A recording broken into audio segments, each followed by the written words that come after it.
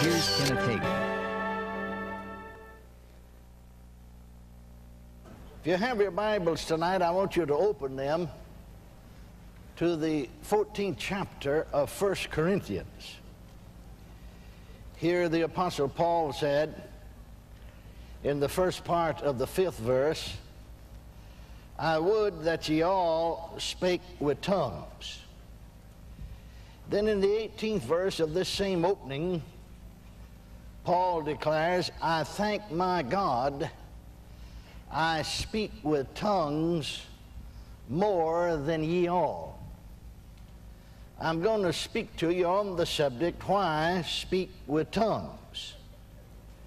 There has been much misunderstanding concerning this matter of speaking with other tongues, which has in some cases brought much damage to the cause of Christ and has certainly robbed multitudes of the blessing which God intended that they should have. One thing is sure and certain it's not a subject to be cast lightly aside as unimportant to the body of Christ. God does not fill his book with things of minor importance, neither does he make unnecessary statements. Now, in Mark, the 16th chapter, the 17th verse, Jesus declared, Go into all the world, first the 15th verse, go into all the world and preach the gospel to every creature. He that believeth and is baptized shall be saved, he that believeth not shall be damned. And these signs shall follow them that believe. In my name they'll cast out devils. They'll speak with new tongues. They'll take up serpents. If they drink any deadly thing, it'll not hurt them. They'll lay hands on the sick and they shall recover. Now, notice that here are five supernatural signs that are to follow believers. One of them is they shall speak with new tongues. Now, some folks endeavoring to explain that away said, well, that just means, you know, before you got saved, well, you used to curse and now you don't curse anymore. Or you used to tell vulgar jokes, but now you don't do that anymore. Or you used to lie and now then you don't do that anymore. Well, that's true that you don't, but that's not what this is talking about. For the simple reason that all five of these are supernatural. They'll lay hands on the sick and they'll recover supernaturally. If they drink any deadly thing, it'll not hurt them. They'll take up serpents. Now, that doesn't mean that you handle a serpent just to prove something. Like Paul, he was accidentally bit there, you remember, on the island, and he just shook that serpent off into the fire and it didn't have any effect on him. All of these are supernatural. You see, why take one of them out and make it natural? They'll cast out devils. No, Jesus did not say that a few believers would speak with other tongues, but he certainly implied that all believers should do so as also does the Apostle Paul. Well, now, why then is it that most believers do not speak with other tongues? I'm sure that there are a number of reasons why. Sometimes it's pertinent to the individual. But I'm also sure that the number one reason is that there has been very little sound, logical, and scriptural teaching as to the scope and to the value, as to the value of speaking with other tongues. Now, oftentimes, our friends of the denominations who do not speak with tongues say, Why do you folks give such prominence to speaking with other tongues? Well, the answer is that we do not. But there are several reasons that seems like we do. One reason is that they're always asking us about it and compelling us to discuss it. Amen. Another reason is that speaking with tongues is always manifested when one is baptized with the Holy Ghost. And then another reason is tongues and interpretation are distinctive of this dispensation in which we live. And then another reason is Paul gave prominence to it. In fact, he gave a whole chapter to it here in this 14th chapter of 1 Corinthians. Why did he give so much prominence to it? Because then, as now, it was much misunderstood. Now, first of all, let's take up the scriptural reasons for speaking with other tongues. I've already given you one, and that is that it's always manifested when one is baptized with the Holy Ghost, or, as the scripture also uses the term, filled with the Holy Ghost. Let's turn to Acts chapter 2, and I can quote all these scriptures, but I think I must make a mistake oftentimes by doing so. I want you to turn and read for yourself. We read here from Acts chapter 2, beginning with the first verse and reading through the fourth verse. And when the day of Pentecost was fully come, they were all with one accord in one place. And suddenly there came a sound from heaven as of a rushing mighty wind, and it filled all the house where they were sitting. And there appeared unto them cloven tongues like as of fire, and it sat upon each of them, and they were all filled with the Holy Ghost, and began to speak with other tongues as the Spirit gave them utterance. Then I want you to turn to the ninth chapter of Acts, and we see here that the Word of God tells us in the 17th verse, and Ananias, well, first, Ananias went his way. This is after the Lord had appeared to him in a vision. We, we uh, look at the 10th verse, and the scripture said there was a certain disciple at Damascus named Ananias. And to him said the Lord in a vision. That means Jesus appeared to him, he saw him, and heard Jesus speak to him. And said, Ananias, and he said, Behold, I'm here, Lord. He must have been on speaking terms with the Lord. When he saw him and when he spoke to him, he said, Behold, I'm here. And the Lord said unto him, Arise and go into the street which is called Straight, and inquire in the house of Judas for one called Saul of Tarsus. For behold, he prayeth and has seen in a vision a man named Ananias coming in and putting his hand on him that he might receive his sight. Then Ananias answered, Lord, I've heard by many of this man how much evil he has done to thy saints at Jerusalem. And here he hath authority from the chief priests to bind all that call on thy name. But the Lord said unto him, Go thy way, for he's a chosen vessel unto me to bear my name before the Gentiles and kings and the children of Israel. For I will show him how great things he must suffer for my name's sake. Now notice that 17th verse. And Ananias went his way and entered into the house, and putting his hands on him, said, Brother Saul, the Lord, even Jesus, that appeared unto thee in the way as thou camest, has sent me that thou mightest receive thy sight and be filled with the Holy Ghost. And immediately there fell from his eyes as it had been scales, and he received sight forthwith, and arose and was baptized. Now notice that it does not say anything about Paul speaking with tongues here. But yet we read where Paul said himself in 1 Corinthians 14, 18, I thank my God I speak with tongues more than ye all. Well, when do you suppose he began to speak with tongues? Must have been just like they did on the day of Pentecost when he was when he received the Holy Ghost or was filled with the Holy Ghost. Now look into the 10th chapter of Acts. We will not take time to read so much scripture, but you know about uh, Cornelius, and you know about him praying and an angel appearing to him and telling him to send to Joppa and inquire in the house of one Simon the tanner for one Simon Peter. And uh, then Peter there went on the housetop to pray and fell into a trance and had a vision. And he saw this great giant sheet let down from heaven by the four corners and with all kinds of beasts, both clean and unclean, and heard a voice from heaven say, Rise, Peter, slay and eat. And he said, Not so, Lord, nothing unclean or common's ever entered into my mouth. And God said, Don't you call that unclean or common which I've cleansed. Well, you see, the Jews looked upon the Gentiles as being unclean, and they wouldn't have anything to do with them. But God's getting him ready for the gospel to go to the Gentiles. And he said, Don't you call common or unclean that which I've cleansed. Well, thank God he's cleansed me and he's cleansed you, for, so we are not common and we are not unclean. Glory to God. Can you say amen?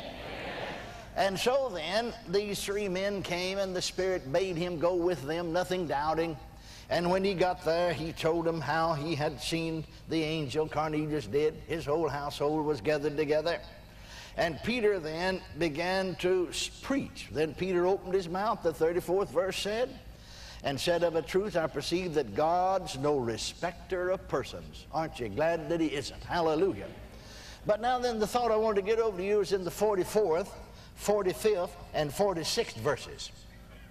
While Peter yet spake these words, the Holy Ghost fell on all them which heard the word.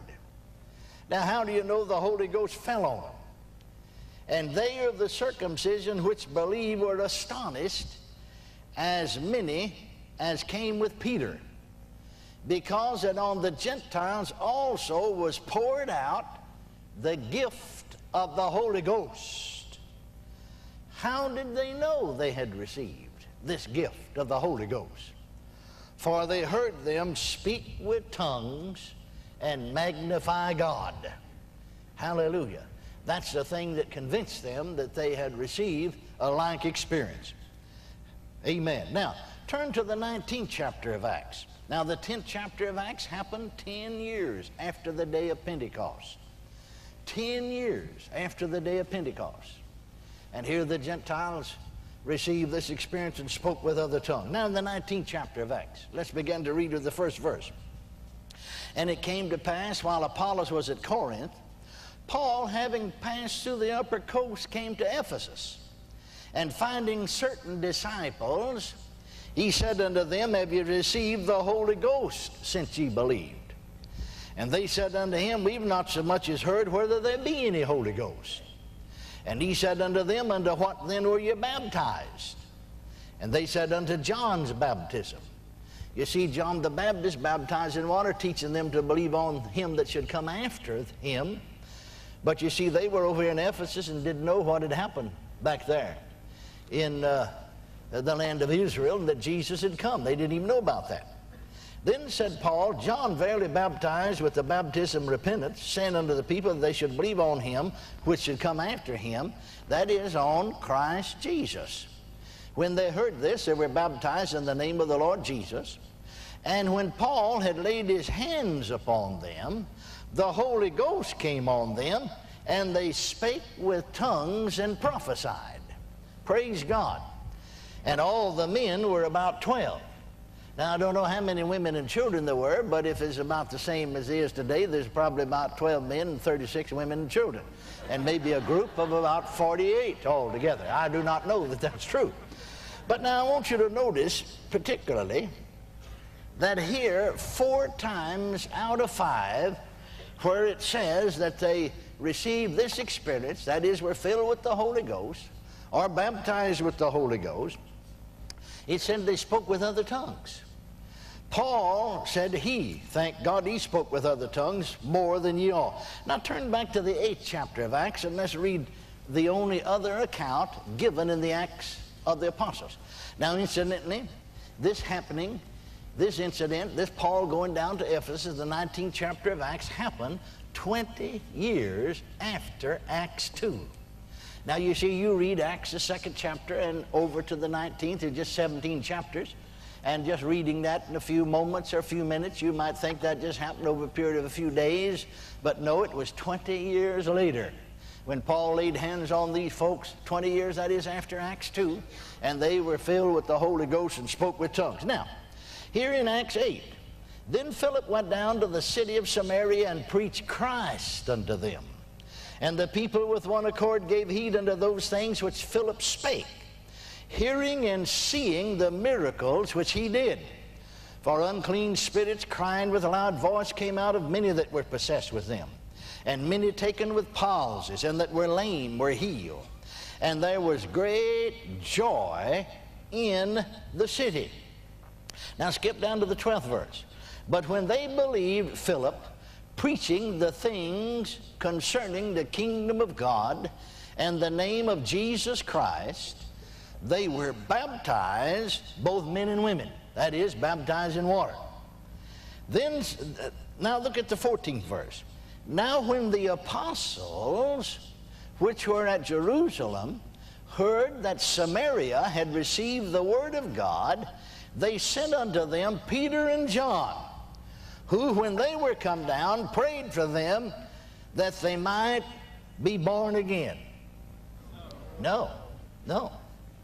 Prayed for them that they might believe on the Lord Jesus Christ. No. Prayed for them that they might be converted and become Christians. No. What did they do? Prayed for them that they might receive the Holy Ghost. For as yet he was fallen upon none of them, only they were baptized in the name of the Lord Jesus. Then laid they their hands on them and they received the Holy Ghost. Now, then, there are a number of interesting things here. First of all, notice this, for as yet he was fallen upon none of them. There in the Acts 10 we read, while Peter yet spake unto them, the Holy Ghost fell on them. The singers just got through singing about the latter rain. The Holy Ghost falls like rain. You can see that here. That's, a, that's an illustration of the Holy Ghost moving or the Holy Ghost falling. I remember one time there were some individuals that wanted to debate with me, and at one time I used to do that, but then you learn better as you grow older, you know. Should learn a little sense anyway. And so they challenged me, you know, and I said, Well, I'm not interested in debate. I never saw, I never did see any good come out of it yet. And, I, and they said, Well, no, we, we just want to discuss the scriptures. Because they said, You see, if you're not saved, if we're not saved, then you are. I said, That's the best evidence in the world that you're not, because I know I am. Praise God, amen. Well, we set up a date anyway, and so we were discussing the scriptures. And when you would pin them with the scriptures, you know, on whatever set we're discussing, they'd jump, you know, on a little, they had, I call it a little rabbit path down through the New Testament that they get in. And uh, so finally, after about two hours of discussion, I finally said to them, now, I'm not going to talk anymore because I've got service tonight. I'm going to stop right now unless you agree and we'll both mutually agree that we'll take any subject that you want to discuss, any New Testament subject, and we'll discuss it. We'll not jump on any other subject until both of us consent to do so. Unless you that's you agree to that, well, we won't. I won't. Well, they agreed to it. So I said, all right. What subject do you want to discuss? They said that Holy Ghost business. Well, I knew right then they didn't know a thing in the world about Him. Amen. They didn't know a thing in the world about Him.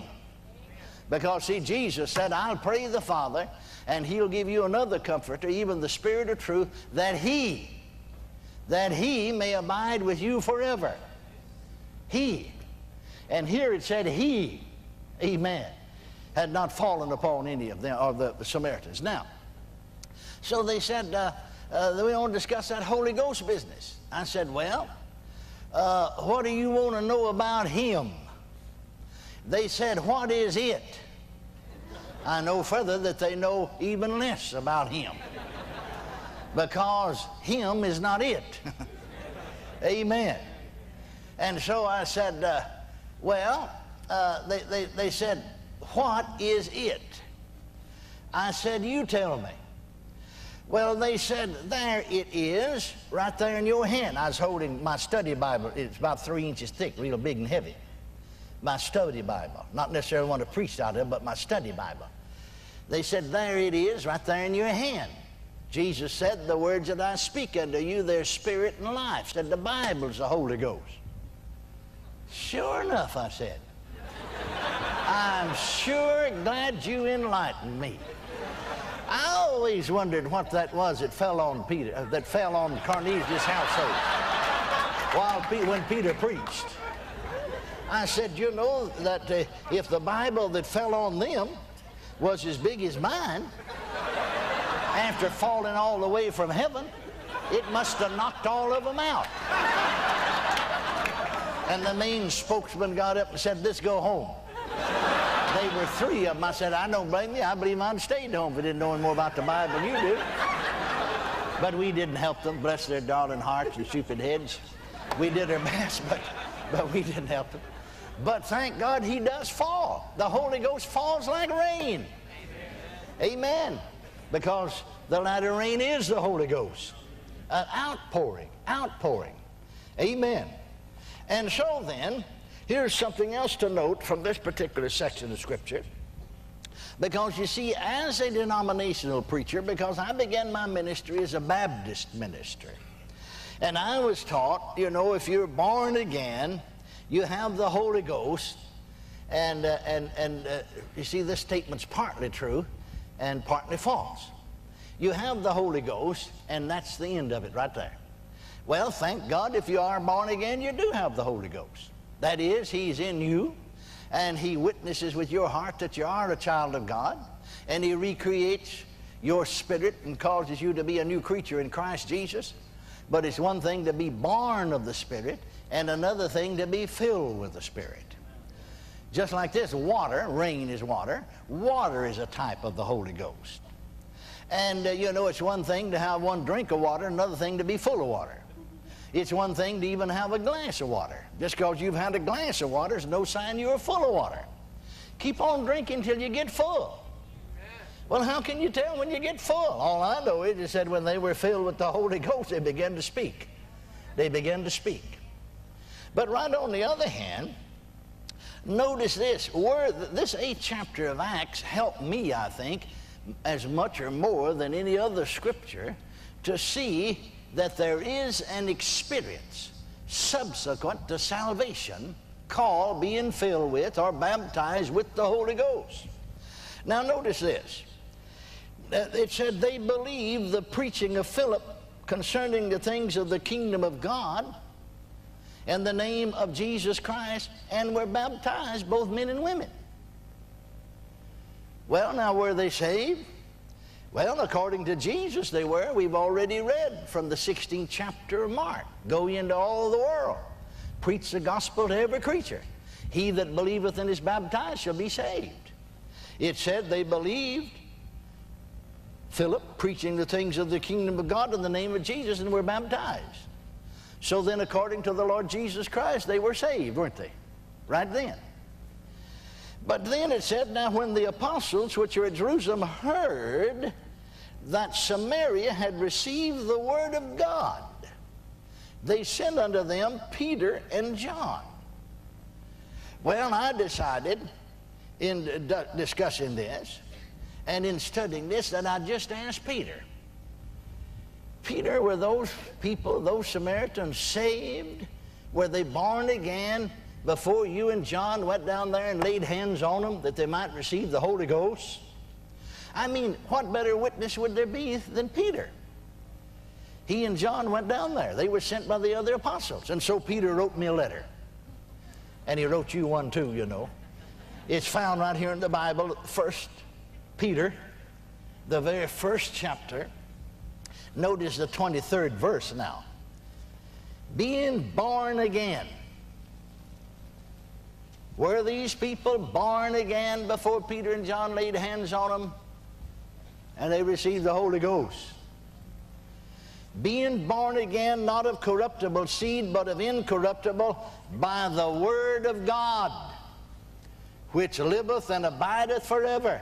Now go back to Acts 8 14. Now, when the apostles which were at Jerusalem heard that the Samaritan had received the word of God, amen.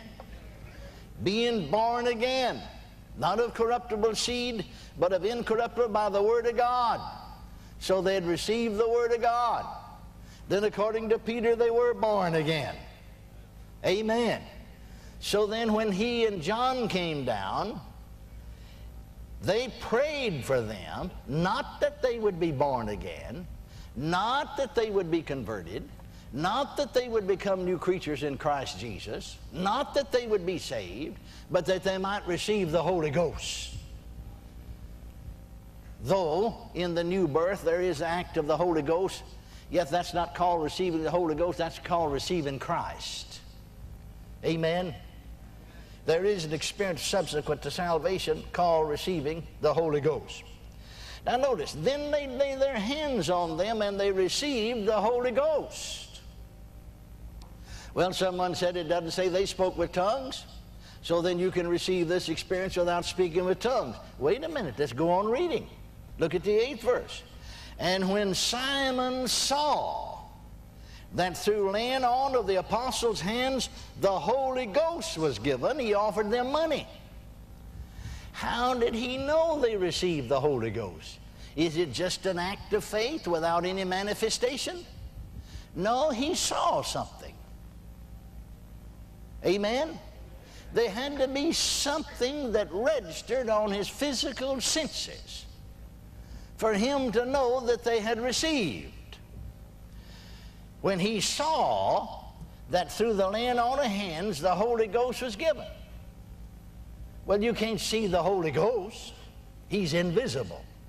If there hadn't been some supernatural manifestation that registered on his physical senses, he couldn't see that they'd received the Holy Ghost.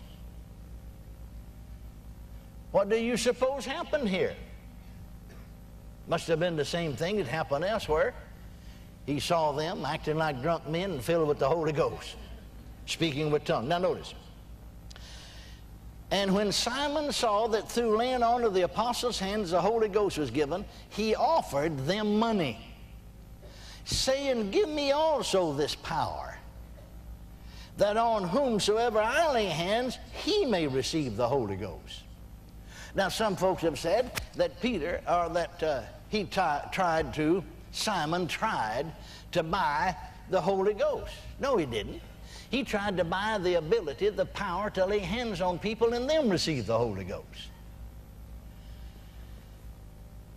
But Peter said unto him, Thy money perish with thee. Now, would he try to buy something that you couldn't see whether folks received anything or not? You couldn't tell whether folks received anything or not? Would he have tried to buy something if there wasn't a supernatural manifestation in connection with it? Why, certainly not. Any sensible person would know better. So he offered him money, saying, Give me this power so I can lay hands on folks. You know, and they receive the Holy Ghost. But Peter said unto him, Now just go on reading, Thy money perish with thee because thou hast thought that the gift of God may be purchased with money. Thou hast neither part nor lot in this matter, for thy heart is not right in the sight of God. One Greek scholar points out that the Greek word translated matter here, the root word, is identically the same one, root word in the Greek, in connection with utterance in Acts 2 4. They were all filled with the Holy Ghost and began to speak with other tongue as the Spirit gave them utterance. Utterance, look the word up. I looked it up then after I read this man said that. I looked it up in Strong Concordance, and the root word is the same. Thou hast neither part nor lot in this matter. What he literally said was, Thou hast neither part nor lot in this matter of speaking with other tongues, in this matter of utterance. And so we have proven conclusively uh, in all five instances in the Acts of the Apostles when they received this experience, were filled with the Holy Ghost, or baptized with the Holy Ghost, they spoke with other tongues. Now, you can just do whatever you want to, but I'll tell you, I always want to receive a biblical experience. Not according to what some preacher said. Not according to what some church teaching says. But what the Word of God says. And when I saw what the Word of God says, it wasn't matter of, but a matter of a few minutes until I had received this experience, was filled with the Holy Ghost, began to speak with other tongues as the Spirit of God gave utterance, praise God, in 1937. And from that day to this, I've either spoken in tongues every single day, prayed in tongues, or sang in tongues, as the Spirit of God gives utterance. I remember reading then several years later from Brother Howard Carter.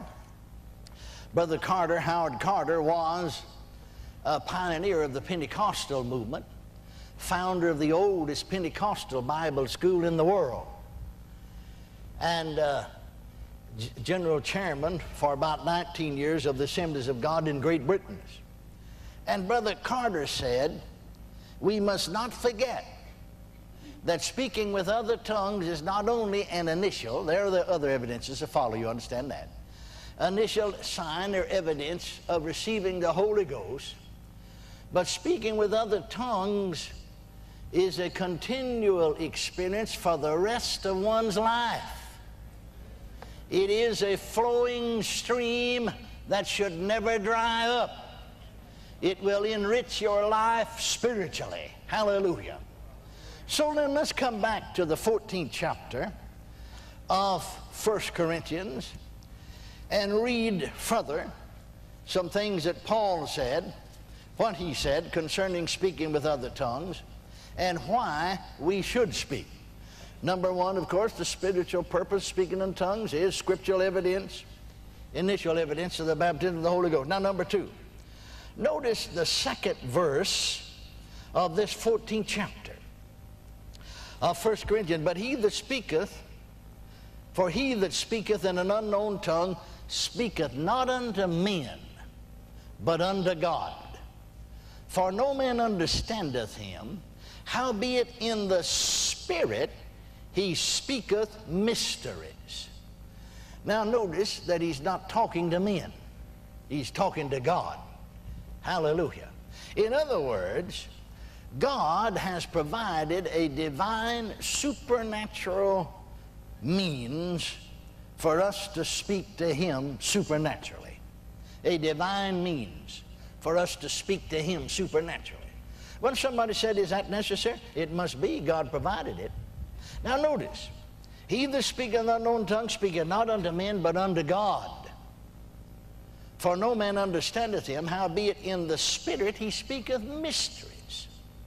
I like Weymouth translation said, he speaketh divine secrets. I remember my father-in-law, my wife, daddy, they were Methodist. I came along, so I met my wife, pastored a little full gospel church in the black land of north central Texas in 1938 in a little town by the name of Tom Bean, Texas. And in those days, they called me String Bean from Tom Bean. But those days are gone forever. I only weighed 138 pounds. That's with my clothes on. and uh, so, I remember my, my father in law telling me he was a farmer in that black land of north central Texas. That when somebody came there and they had this revival and then built this church, and I came along a few years later as pastor, but they came and held an open air meeting. And uh, so he said they just preached salvation. Little old town, you know, of just a few hundred and farmers all around, farmland and farmers, and people came in, preached the new birth and salvation. Did have an altar bench, and people would go there and pray, and they'd got a lot of people saved. Whole community was stirred. But then they began to preach this experience. After getting a number of folks saved, running a several weeks, they began to preach being baptized with the Holy Ghost and speaking with other tongues, and that created quite a furor. You can understand that. And, and, and people began to receive and began to speak with other tongues. Well, now, these were depression days in the mid 30s, you see. And, and they were out here in an open air meeting, and they didn't even have electricity. You got to realize in the 30s out in the country, a lot of time they didn't even have electricity. And, and so they had these uh, uh, gasoline lamps or, or lanterns, you know, that they'd light hang up poles around. And somebody said, now I'll tell you, you know, that light will throw out a circle. They, they put something in that light, that gets on you, and that makes them speak with tongues. and they had all kind of foolish ideas, you know. And, and, then, of course, they began to preach healing and preach James 5.14, is any sick among you? Let him pray over them, anoint them with oil in the name of the Lord. The prayer of faith save the sick, the Lord shall raise them up.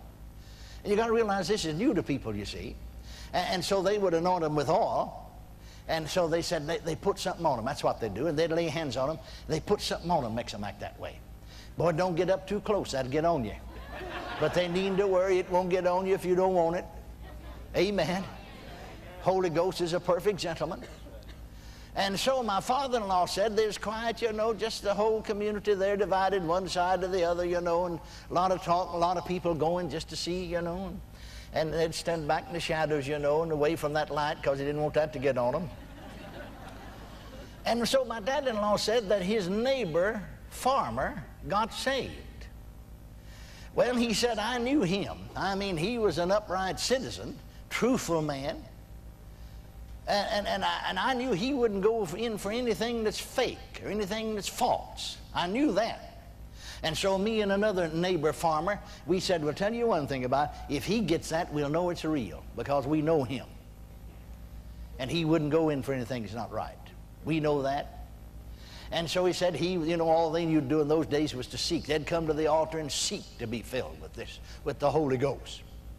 Well, he said we'd stand back in the shadows and watch as close as we dared to get, you know. And so one night, the, the, the, the evangelist, the preacher, he was praying with this fellow, and everybody had left the altar, and, every, and, and had left this man. And, and in fact, uh, Mr. Rooker said me and this neighbor farmer were the closest people to him nobody else any closer than we were. And he was kneeling there just praying, suddenly lifted both hands and looked up and started speaking in this strange language. And, and Mr. Rooker said, this, his, his farmer neighbor, you know, turned to him and said, oh, What's he saying? What's he saying? What's he saying? And Mr. Rooker said, I don't know. He ain't talking to me. now, now, he didn't know how scriptural he was. Praise God, he wasn't talking to him. But it convinced them, knowing him, that this is real. But you see, he's right. See, he said, if any man speak an unknown tongue, he speaketh not unto men. He wasn't talking to him, but unto God. Oh, glory to God. Aren't you glad that we can talk to God? And he said here that he speaketh mysteries. That is, he speaks divine secrets. Hallelujah. Glory to God. I think one reason the devil gets mad about this, he can't get in on it. And so he fights every way he can. Now I want you to notice the 14th verse in connection with this, and we'll come back to it later. For if I pray, Paul says, in an unknown tongue, my spirit prayeth. But my understanding is unfruitful. The Amplified Translation said, If I pray in an unknown tongue, my spirit, by the Holy Spirit within me, prayeth. You see, it's not the Holy Spirit praying, but it's the Holy Spirit giving utterance to my spirit. And my spirit's doing the praying, but my understanding is unfruitful.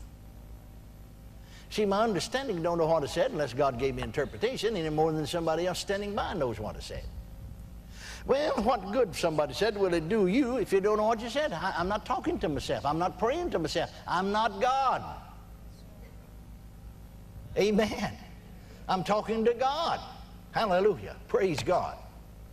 Supernatural means of communication to himself.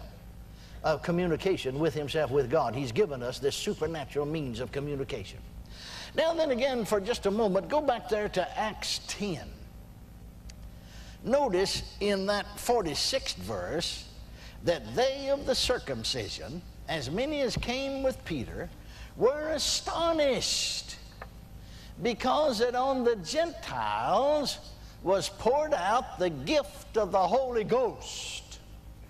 For we heard them speak with tongues and magnify God. Hallelujah. Speaking with tongues and magnify God. Well, you know, we, we know something about magnifying. Sometimes we just have a little magnifying glass, you know, and you put it over a word, it makes it bigger. Well, now, is, is, can, is, can God be made any bigger than what He is? Well, from His standpoint, no, but from our standpoint, yes. Amen. He can become bigger to us. Can you say amen? So, another purpose of speaking with other tongues is that believers may magnify God. Now, I know, you know, of course, in my day, I, I don't think there's as much controversy today about speaking with tongues as it was, uh, uh, you know, 40, 45, 46, 47 years ago, 48, 49 years ago when I received. Because uh, th there's been uh, millions of people have received this experience. and spoken with with other tongues. According to the latest statistics, there, there's a, a hundred and uh, twenty some odd million people, praise God, filled with the Holy Ghost, speaking other tongues alive and on the earth today. There's been many more received through the years. Hallelujah. And the thing that astounds many of the of the denomination, though, is that on the mission fields the Pentecostals, those that speak with tongues always win, win more souls than anybody else. Amen. Amen. Praise God. And do the greatest missionary work. And more of them are out there. Praise the Lord. And so it's convinced them that there has to be something to them. Now, why? Because you see, they speak with tongues and magnify God, and God's bigger to them. God's not any bigger from God's standpoint, but, but thank God He's a whole lot bigger to them. Well, in my day, you know, I remember my Baptist colleagues, bless their heart, in all sincerity and honesty, but their mind all befuddled with theological concepts that were unscriptural warned me about these Pentecostal people. I went around them because they believed in healing. I'd been healed, raised up from a deathbed by the power of God. And it strengthened my faith in healing because I'd had to stand alone just as a teenager. You need the faith, the fellowship of those that believe like you do. Amen. And, and so uh, they warned me. I remember one Bible teacher, graduate of, of Baptist seminary he said, Now, I, will admit those full gospel people, in most all that they teach and preach is, is uh, fundamental. And it's, it's right. But he said that speaking with tongues is of the devil. And he just got through telling me, I'll admit that they live better lives than we do in the Baptist church. Better lives. And I thought to myself, I didn't answer him right then, but I thought to myself, how in the world could people get something from the devil that would make them better? I thought it was always the other way around. Amen. That the devil's trying to make you bad and do things that's not wrong and e- they're not right and evil and wrong. But that the Holy Ghost helps you to do right. Amen. And, and how in the world could you get something from God or from the devil that would make you a better Christian? well, that's not very logical thinking, very illogical, isn't it? But I found that when I was filled with the Holy Ghost, I, I, remember the moment that I was filled with the Holy Ghost, speak the other tongues, I really went looking for this man. He's a businessman in our city, and he taught a Bible class in the First Baptist Church, auditorium class. He was a graduate of Baylor Seminary. He had all the education that all the Baptist preachers had. And, and I went look him up, you see. And I, I brought the, subject. I never bring the subject up before. He'd always bring it up. But I brought the subject up this time myself because I, I want to get something over to him. And so he finally again warned me, you know, about these folks and about this speaking with tongues is of the devil. I said, now wait a minute, stop right there now, stop right there. Uh, you, you, you say this speaking with tongues is of the devil? That's right. Well, I said, if it is, the whole Southern Baptist movement is of the devil. and his guys got as big as saucers. And he opened his mouth and flopped his lips a time or two and did the same thing. It shocked him. What are you talking about? He said. Well, I said, the same Holy Ghost that I got among the Baptists. See, this is just one Holy Ghost. He's not twins or triplets or quadruplets or quintuplets. Just one, just one Holy Ghost. I said, the same Holy Ghost that I got born again, that I received into my spirit as an inward witness, same Holy Ghost that I got among the Baptists gave me utterance in other tongues down at the Full Gospel Church, and I spoke with other tongues. They don't have a different spirit. What we got is identically the same spirit, just a different dimension. Oh, no, no. He said that. No, no, that's not right. I said, wait a minute. Wait just a minute. Have you ever spoken with other tongues? He said, no. Well, I said, you're a Bible scholar, aren't you? Oh, yes. Graduated by, he went over it again. He's proud of it. Graduated Baptist Seminary. Yes, I've taught the Bible for 25 years. I said, well, now wait just a minute. You've never spoken with other tongues. No. I said, How do you know what spirit it is then? I said, You know the Bible, don't you? Oh, yes. I said, Well, Proverbs says, a man that answers a matter before he hears it's a fool. now, I said, You are being foolish. You, you, I'm the only one that can, is qualified to speak on the subject. You know about being born again. You know you received the Holy. Yes. I said, well, I was born again among the Baptists, received the Holy Ghost. And the same spirit that I got among the Baptists is the one that gave me utterance. Same Holy Ghost. Oh, yeah, but I know it's not so. I said, don't be a fool. We just got through reading the scripture. I just quoted it to you. Man that answers a matter, you can't comment on it. You are not qualified to comment on it. You don't know what spirit it is. Unless you've spoken with tongue, then you can tell me. But I was born again among the Baptists, filled with the Holy Ghost among the Pentecostals, and let me tell you that it's the same Holy Ghost. I didn't get a new spirit. It's identically the same spirit I had all the time. So if speaking with other tongues is the devil, the whole Southern Baptist movement is of the devil. But thank God it isn't. And thank God speaking with tongues is not of the devil. It's all of the Holy Ghost. It's just a deeper dimension of the same Spirit. And you can go deeper with God if you want to. Praise the Lord. And so that believers, we heard them, Acts 10 46 now, we heard them speak with tongues and magnify God. Hallelujah. And so one purpose of speaking with tongues is that believers may magnify God. It makes God bigger to them. I notice this much. You know, I was born of the Spirit. I was already a pastor of a church, young Baptist boy pastor. And, and, uh, and, of course had all the tests and all the temptations that any young person would have had or teenager 18 19 year old 20 year old but i noticed this after being filled with the holy ghost speaking with other tongues and praying in tongues every day when those same tests and same temptations came that before sometimes i just skimmed by i had added power it was much easier. Because you see, he was magnified. Glory to God, he was bigger in my life. He was bigger in my life. He was bigger in my life. Now, I was pastor out in the country, a little, I call it a country Baptist church. I actually just read a community church. 85% of us were Baptists. But uh, I, I, didn't tell them that I'd received this experience. Uh, you, you know, I think we make a mistake a lot of time telling other people what to do. Well, if I was you, I'd do this or I'd do that. Well, you don't know whether you would or not unless you was in their shoes. We're very glib about giving, you know, about giving advice to people. We better tell them you pray and see how God leads you. Because he may lead one person one way and lead another person another way. But some way or another, I just sensed in my spirit. I just sensed in my spirit an inward intuition, more or less. Nothing that the Holy Ghost really said, but more or less an inward intuition that I shouldn't say anything about it. So I never even mentioned that I received this experience, never even mentioned that I received the Holy Ghost or that I speak with other tongues. And, and, and uh, uh I'm talking about now that believers may magnify God and God will become bigger in their life. But people begin to say to me in my congregation, something's happened to you. What do you mean? I'd say, you know, I just act like I didn't know what to do. What do you mean something's happened to me? Well, you're just deeper in the Lord than what you used to be. Because you see, He was magnified in my life. Uh, they said, you, you, you, you preach better. They'd heard me preach, you know.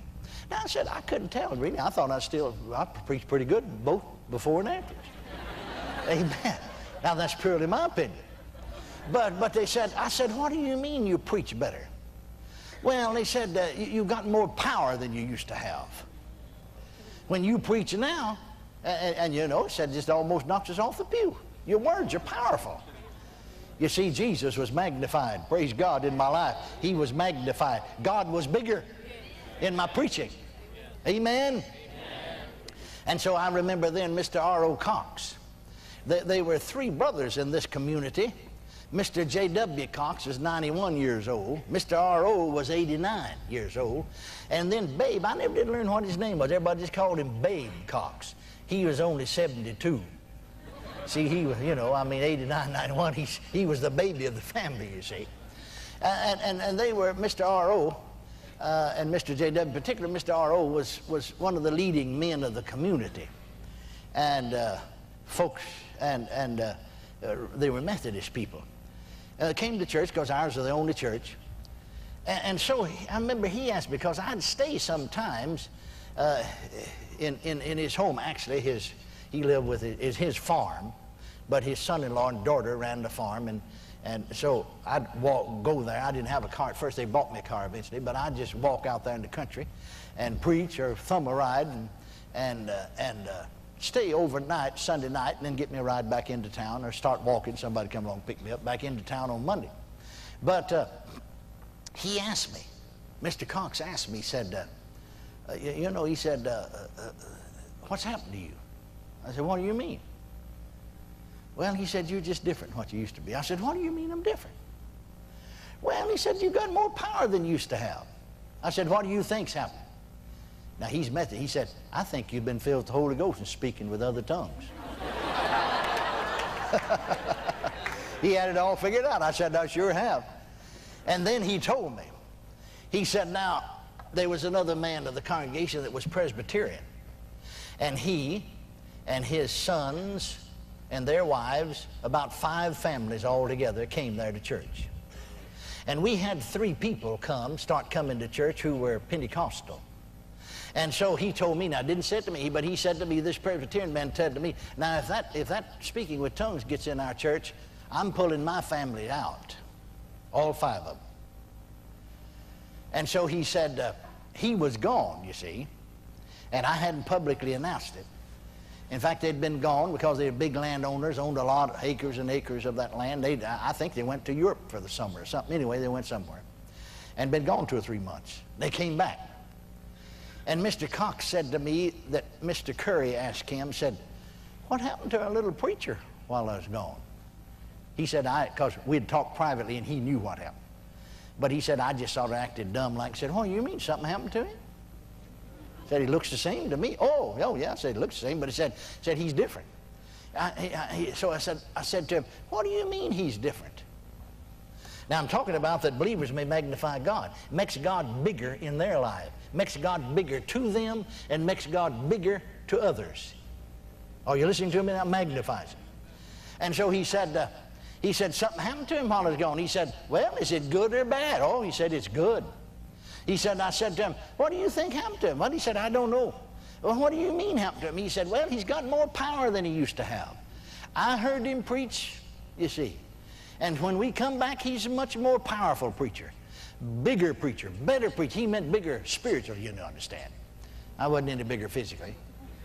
Still weighed 138 pounds. He said, uh, he said he's more powerful. He's got a power that he used to didn't have. He said, Mr. Cox said, I said to him, well, is it good or bad? Oh, he said, it's good. It's blessed. It's a blessing. He said, you know what happened to our little preacher while you were gone? He said, no. He said, he is baptized the Holy Ghost, spoke in other tongues. Well, I remembered that he told me, and I thought I'd better get to it first. I remember he told me, if that speaking of a tongue gets in our church, I'm pulling our families out, five of them. See? So he said he dropped, Mr. Cox told me, he said he dropped his head and, and he said, I know a few seconds like that seems like 10 minutes, you know. He just dropped his head and didn't say anything. I didn't know whether he was going to look up and say, well, we're quitting. We're going to put our families out. It's going to create division in the church. Uh, I, I don't know what he's going to say. But he said he looked up, and when he looked up, he was weeping. Tears were in his eyes. And he said, well, I'll tell you one thing about it. makes a believer in me in the experience. I heard him preach before. I've heard him preach since. There's a power there's a spirituality. There's, there's something about God, about Him, that He didn't have before. See, He was magnified in my life and magnified to Him. You say, they pull out? No, every one of them stayed. We never lost a person. Never. And so finally, after about three months, I began to tell them. So many of them, I began to tell them what happened. Praise God. Amen. 93% of them followed me and the other 3% wanted to, but some or another just didn't. We didn't lose them. They stayed with us. Praise God that believers may magnify God. Now look at that fourth verse in conclusion, real quickly. Look at that fourth verse of this 14th chapter of 1 Corinthians, and we're going to close right here tonight and pick up here tomorrow night. Notice, he that speaketh unknown tongue edifieth himself. Glory to God. Edifieth himself. Now, what does that mean? He edifies himself. That means he builds himself up. Speaking with other tongues is a means of spiritual edification. It's a means of spiritual edification. In fact, those who are Greek scholars tell us that we have a, a term that we use, or a word that we use in the English vernacular, that's really closer to the meaning of the Greek word that's translated edify than, than the word edify in the English. And that is the word that we use in connection with an automobile battery charge. See, that battery runs down, you put it on a line and charge it up. We just recently, you know, we got this cold weather come in, and we'll have colder weather. But usually, you know, sometimes you go out to start your car, particular times like that, and, and you get on to start, and there's just enough power there, just maybe turns the motor over a couple of times, and that's it. Or you come to church, left your car out here with the lights on, you go out, the lights are very dim, try to start, it won't start because you've used up all the power, you see. So you put that battery on the line and charge it. Build it up. See, edify means build up. So literally speaking, he said, He that speaketh an unknown tongue, edify, unknown tongue, edifies himself, charges himself, builds himself up like a battery. Hallelujah. Well, those of us who speak with other tongue can say amen to that. Some of the greatest things, in fact, the greatest things, the most miraculous. We'll talk about some of them tomorrow night. Things that ever happened to me happened after a time of charging myself. Amen. Edifying myself, building myself up. Praise God. In the Holy Ghost. He that speaks an unknown tongue edifies himself charges himself, builds himself up like a battery. Praise God. Jude makes a statement in Jude, the 20th verse, you know, just one chapter in Jude. He said, But ye beloved, building up yourselves on your most holy faith. How you going to do that? Praying in the Holy Ghost. Praying in the Holy Ghost. Let's stand, everybody, please. Everybody stand. Praise God, I'm spoken hour.